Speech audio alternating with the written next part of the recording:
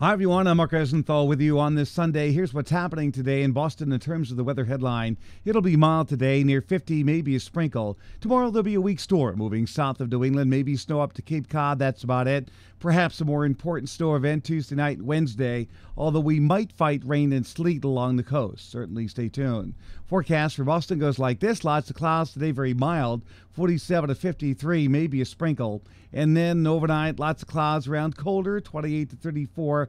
Now tomorrow, with a little storm moving south of us, it could be one to three inches of snow over the Cape. Perhaps a dusting to an inch up to Plymouth, but that's about it. Five day forecast looks like this.